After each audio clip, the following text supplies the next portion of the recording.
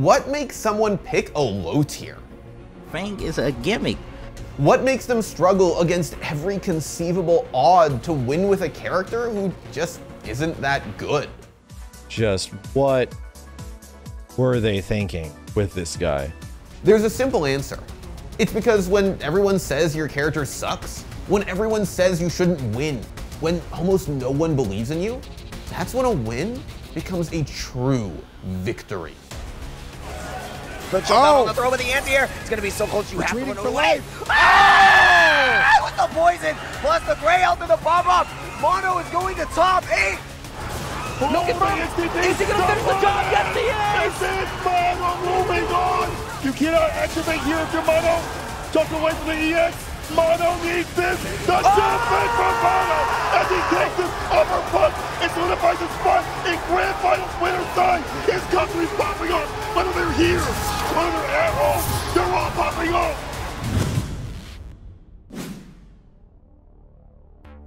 Tier lists have existed since basically day one of competitive gaming, which means that for the better part of three decades, people have been warning new players to avoid shitty characters. Just pick a top tier. You want to win, yo? Yeah, yeah, yeah. I don't even like Balrog like that no more, man. Just pick him, yo. Pick, pick a top tier.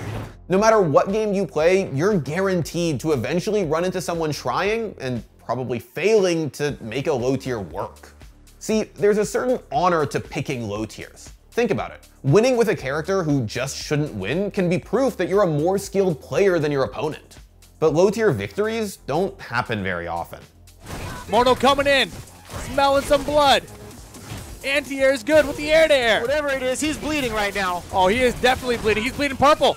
Oh, the exchanges. Oh, dude, what? Oh my God! Exchange. Wait. RD. RD wins by a pixel.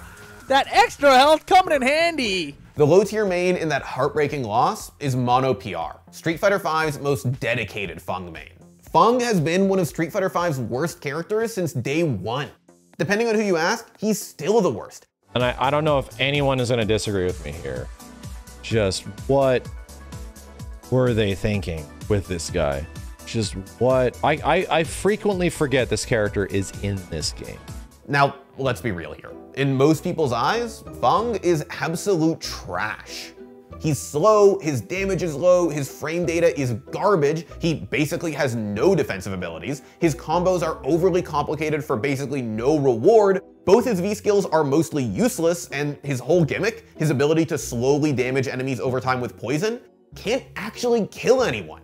On top of all of that, he looks ridiculous. He's a seven foot tall stick man who flaps his arms around like a bird, makes little poison clouds that do almost nothing, and then does a little shimmy if he somehow manages to win. So it shouldn't be surprising that Fung is literally the least played character in the game. And yet, Mono has dedicated the last few years of his life to Fung. Out of all the characters, I was just checking who has consistent anti-air normals and good mobility, and to me it was Fung, even though he had uh, little damage. Mono isn't some new up-and-coming young player. He's been a pillar of the Puerto Rican FGC for years, and he actually runs the scene's biggest tournament. So I run First Attack in Puerto Rico, which is like the big, uh, the biggest event here in the Caribbean. First Attack used to be only fighting games, but now First Attack has been, ever since it started growing, a lot of people in Puerto Rico see it as the esports event of Puerto Rico, not no longer like the fighting game event. But Puerto Rico isn't exactly known for their fighting game prowess. Their top players don't get to travel as often as players from Japan and North America, so many wouldn't consider it a top tier region. And Mono isn't some chronic low tier man. He actually started off Street Fighter V with a much higher tier pick. and in SF5, he actually played Dictator and then dropped him when Dictator got buffed. What are you doing? but once Mono made the switch to Fung, he had his work cut out for him. Remember, no one plays Fung. There's not a lot of tech out there to study. And in fact, most of the top players who used to play Fung switched off the character a long time ago. So Mono was one of the few players creating all of the Fung tech, and he had to get a little creative to optimize the character see like a, a super huge punish with Akira on Rose, and then I'm like, hey, I wonder. I think I think Fong can actually recreate something like that, or that situation. I think Fong could do something that, and I just theorize it. I just test it out, and I find stuff like that because it's That's because I told people that play Fong, I'm like, it's really hard to just find all the matchups with Fong in YouTube. Like it's it's because he's an uncommon character. But Mono couldn't devote all his time to mastering a weak character. I don't have the same time available as many of the professional players to just dedicate only to playing. Like I play, but I also produce. Mono did his best to go to as many tournaments as possible and became the face of Feng mains everywhere. But he quickly became known as one of the best Feng mains in the world. And then the pandemic hit, throwing the entire FGC into chaos. Tournaments went online, introducing lag to matches, which made tricky characters like Feng even more difficult to play. And yet, Mono started popping off. Poison could be ironed up as well. Yeah, just stayed counter crouching and then dodges it in the sky as well. I can't believe he made it through that. That was so slick. My man's kept it composed. Oh, oh, Oh, this is actually dangerous for right now. Oh. oh. Okay, could have been even worse. Uses one EX, still gets hit, and Mono brings it all the way back to take a 2-0 victory over DRA and puts himself in top 8 winners bracket, continuing that momentum indeed. Unfortunately, those incredible wins were quickly followed by close, crushing losses. Okay, stealing a bit of a turn was Mono there rather than just the medium he usually does. Oh! This is a punish. Oh. This is oh. Mena. Mena's in now. That's all he needed was one opportunity here. Trades on the wake up. Tries to beat it with the air to air. Doesn't get it, but he doesn't get a grounded hit either. So scrambles on scrambles. But no charge. My goodness, it's so unfortunate he didn't have the charge rate because the cross up blows that up and resets with a throw. He's able to take the life lead from it. He's going in. Oh. Thrown out of the roundhouse. I can't believe it. He's in big trouble. Oh. There's Mena sealing the deal. Three games to one. Mono's solid online placements earned him a spot at Red Bull Kumite Las Vegas, one of the first major offline tournaments after years of online play. Even offline though, Mono just couldn't crack the top players. No neutral November. I'm gonna start. I'm gonna start celebrating now. Ah, he tried to shimmy uh. him. Capcom, please. Oh, jeez. Oh, jeez. Mono's Oh, man, oh, hard. oh, jeez. Oh, man, oh, jeez. No, what is this? What's gonna happen? Oh, my God. Oh, my God. Oh, my God. Oh, you did that. You did that. Brian L. Right now. Did you just do that? You are a bad man. Despite Mono's incredible skill, it seemed like Feng couldn't take him to the top. But then, something crazy happened. Red Bull Kumite was a big deal, but it was a closed invitational, something that many in the FGC might not consider a real tournament. No, to them, a real tournament is a grueling double elimination bracket where hundreds of players vie for dominance. And CEO 2021 was gonna be the first one of those big offline brackets in years, with 453 players in attendance. Mono showed up, ready to play, alongside dozens of his countrymen. But that meant the pressure was on obviously I wanted to do good because of the fact that I mean I'm with the team. I don't want to be like going with the team and I'm their number one Street Fighter representative and I don't make it out of pools. So I was like a little worried because I'm like I really want to make it out of pools. Mono didn't have too much to worry about. He had a clean run through pools, 2-0ing every opponent he faced to make it to top 24 on day two of the tournament. But now he had to start facing down some serious competition from top players playing top characters. But Mono didn't care. Got away so from one throw and landed one of his own. Now Mono has the life lead and an anti-air. Two bars to kill with. He can set up a trap here. He did, but the jump out was so huge. Yes, that's but amazing. No Backdashing of Fierce. He has Mono has another activation, here. Yep, there it is. V shifting out. Nephew now completely resourceless. Oh, he can't go out the crush either. Still no meter. The jump oh. out on the throw with the anti-air. It's going to be so close you Retreating have to run away. Life. Ah! With the poison, plus the gray health and the bomb up. Mono is going to top eight. Because I have never been able to to get to crack into that CEO entrance. I've always loved the concept. I've never been able to get it, and I've always would be like a top 16, almost close to top 16, almost close to top 8, almost close to top 32, but never top 8. Making top 8 was beyond anything anyone could have predicted for Mono, and he made his entrance in style, repping his underappreciated local scene. I host most of the tournaments in Puerto Rico, but like you know using venues and stuff so i would at uh, weeklies i would do in my apartment and i was like well i can fit up to maybe 12 maybe 16 people so i was doing like 16 man brackets on the weekdays i did the first one and it was it, uh, more than 16 people came because others just wanted to see it. And I had water. People would be like, "Oh, can I get a water?" Yeah, sure. No matter. And they would go to the fridge and get a, get a bottle of water because I buy cases, right? But I lived with roommates, so the next day when I wake up, the roommates are like, "Yo, where are all the water bottles that we bought?" And I'm like, "You're kidding me?" Because some people actually went to the fridge and they didn't let me know that they were gonna get a water. So the next event, I'm like, "Okay, so I'm just gonna charge at least one dollar for the bottle of water so I can." Replenish and buy cases obviously because they're consuming and they're not bringing their own water. So but then it just became a joke because people are like oh you go to mono's house and he charges you the water.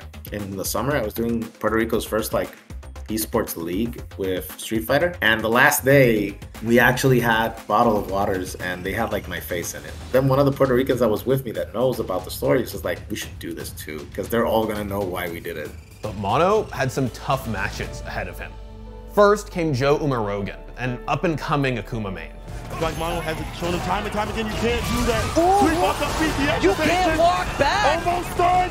One more touch to try to open up and get it done. The Universal had to come through to stave off the stun. But look, look at, look at the poison ticking. Oh, no confirm. Is he going to finish the job? Yes, he is. This is Mono moving on in front of his family, taking down Joe Umarogan, the other Dark Horse, sealing it. After barely making it into winners finals, Mono had to face off against his biggest challenge yet, Punk. Punk is, without a doubt, one of the best Street Fighter V players in the world. So there's no denying that Punk is like of all time Street Fighter V, the greatest in my opinion, rivaled by Tokido as that's too, the one guy. Too. The stats peg him as the third best Street Fighter V player of all time. He's got countless tournament wins and grand finals appearances in both Capcom Cup and EVO. He's an absolute monster that no one wants to face in bracket. In fact, he's so good that up until Winners Finals, Punk was casually dumpstering his opponents, no names and top players, by beating them with Vega, another low tier pick. Hold on now. Here's the activation. Where Punk has been suffering. Is against his feature attack. He's out of there, the jump. Oh, Missing no. the XTP. The chase down? That's, that's it. He cannot it's deal over. enough damage anymore. It's definitely over. Punk gonna take this with a timeout for the first game. V shifts in play, and you gotta hold that. Punk takes it over Griff G. Going into that winners finals match with Mono on one side and Punk on the other, it seemed pretty clear who was gonna win. Mono was using one of the worst characters in the game to go up against one of the best players in the world. But there's a reason low tier mains stick to their guns. There's a reason we keep playing our bad characters even though everyone tells us not to. Because we believe. And Mono believed that Fung could take whatever Punk threw at him. He has a really good Vega. He has a really strong Vega.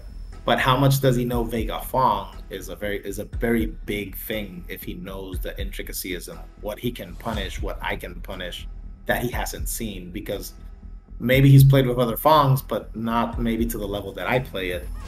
You cannot activate here if you're Mono. Just away from the EX. Mono needs this. The ah! oh! champion from Mono as he takes his upper punch and solidifies his spot in Grand Finals winner side. His country's popping off. Whether they're here, whether they're at home, they're all popping off. Mono sending nephew to losers in top 16. He's not done with Panda. He's not done. Not done with He's Panda. not done. Grand Finals. Mono did it. He was locked into Grand Finals, guaranteed at least a second place finish. But second place was a place Mono knew all too well. Fung might love the number two, but a true competitor wants more. Mono wanted to win it all, and he'd have to face his demons again to pull it off. After his upset loss to Mono, Punk switched off the Vega he was using to troll the tournament and went back to the top tier character that made him famous, Karin. Nephew has him in the corner. Activation, but Punk has super. Right, and this could we see the patented? Oh man. Not better hear y'all say it. Uh, and I better hear y'all say it. Because that's going to be a super situation. Punk with the victory over Nephew. 3-1 to get it done and put himself in grand finals to fight Mono once again for the run back. Karin has long been considered one of the best characters in the game, and she fits Punk's playstyle perfectly. It's just Punk on Karin, man. That punk, that's that's built different. That is the loadout of player and character that fundamentally changed the way this game is played. She's fast, with long buttons that help her whiff punish things like Fang's long, slow limbs. Her damage is extremely high, helping her kill off of errant hits, and even when a character like Fang corners her, she has spectacular defensive tools. Basically, Karin is one of Fang's worst matchups, and Punk is easily the best Karin player in the world. On top of that, Punk was angry, since, like any great player, he hates losing. So this wasn't just a rematch, it was personal. The grand finals meant a lot to Mono. This was his chance to break his second place curse, his chance to prove to the world that in the right hands, Fang could do anything. I know I can beat this character. I, I wasn't sure if I could beat Punk, but I know I can beat the character. Rekka's Rekka pressure is respected. We backdash. The poison continuing to tick away here. So mono games that he could take it, but it's getting harder and harder. That V skill is helping out though. Don't whip a damn button. I said don't whip a damn button! And with all that gray life, we're gonna die for the just the two bars. We don't even need to cash out with the super. Second game on the board for Punk. Building a little bit of extra bar even with that knockdown. That should close out this round. I think Don't no, the drop, drop. But he finds the fierce anyway to face Punk with the reset.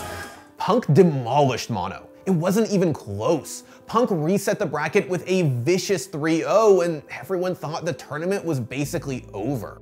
Sure, Mono had another set to work with, but after a loss that decisive, it didn't seem like there was anything he could do to run it back. And yet, Mono's belief in Fung was infectious. Everyone wanted him to win. Are people booing right now?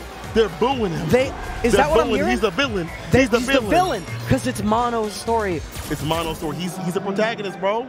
Like I had the headset on, but I could hear the the chants with Mono, and it was no longer that small crowd of Puerto Ricans on the side. It was literally a lot of people in the venue, and I was like, "This is surreal." What the crowd didn't realize though is that Mono wasn't just losing. He was getting the download on Punk. So I, I'm confident that Fong can beat Karin. I just I, I felt that when I lost the set, I'm like, you don't have to change, you just have to adjust. Mono didn't switch characters. He didn't make massive changes in his playstyle. He just went into the second set ready to play. Win or lose, he was fighting for low tier mains everywhere. And he didn't miss. Picks him off the feet with the sweep. Trying to open him up. That door looking easy to bust open. though. the medium just commit just yet. Going to the Oh, a EX far far left. Is he gonna be able to close it out for the game? Yes, yes he is. A game on the board for Mono. We're at a point where this is one touch for either player. Try to get the Gets away with the EX dash. Any poke will do it for Mono. Back away up. It's the the same thing. Same- It's the same thing from the thing. winner's side. Mono up two thing. games post bracket reset. In part to get the poison stacks away, which means that we're not going to mix it. The. DP gets baited. Touch rising. He drops a combo though. Mono backing away. EX No, he ran into it. This And is one gap touch. The throw is going to do it. gonna do it. Mono is the champion. champion. Street Fighter 5 2021 gets it done. Mono is the hero of the day. Mono's win was more than a crowning achievement for him as a player. He helped legitimize the Puerto Rican scene, proving that it's a region to be feared and respected. But more importantly, he reminded everyone that tier lists are just about which character has the easiest time winning. I feel that in Street Fighter V, especially right now where it is, I feel like you can technically play any character. It's just, it's a matter of how you approach the matchups. Because sometimes there, there are things with players, like the, the most important thing in, any, in every fighting game is not necessarily how you play the characters or what the characters offer, but it's more so how fast you can adapt. Mono's run stands as undeniable proof that low tier mains can win. That even when everyone tells you your character sucks, even when everyone tells you you made the wrong choice, hard work and true skill can always triumph. like they said that I was like an example of the fact that they, that it can be done. That you can have other stuff going on, but you can if you dedicate the time, or, or it's not how, how much time, but the quality of the time that you dedicate to the game, then you're able to pull something like this off. And so I think both David and I would like to have a formal apology to Mono about telling him to switch away from Fang, otherwise he'll never win a major tournament. And uh shout outs to Mono, dude. It is, it is, I mean, it, like Japanese wise, it's, it's cutting, but like you just say Karin, it's fine. She's not a real person. She's not gonna get upset, you know? She's not gonna. She's not gonna comment. Yeah, she's not gonna come out of your screen and tenko you. I know how much you want to be stepped on by Cara and Andrew. That's clearly the vibe I got there, but